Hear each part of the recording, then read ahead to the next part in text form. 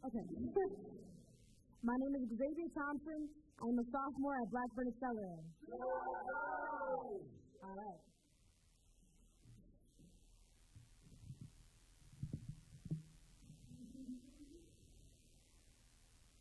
All messed up with no one to fix me.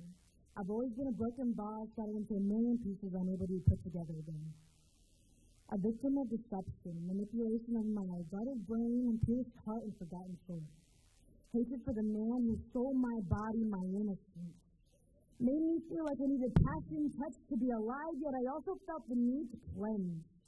Wash, every way, wash away every touch, every mistake, every perverse fingerprint left on my heart. My childhood was ripped away and doused in acid. I may never trust or love again.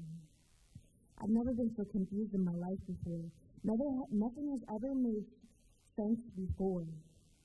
But now I feel myself grasping at thoughts slipping from my mind. I thought I was getting better. I honestly did. But when I lay awake in the middle of the night pondering life, I wonder what is wrong with me. Where is my normal? I have pride for getting as far as I've come. Pride for escaping the incarceration of my mind, and pride for the pieces I know are not.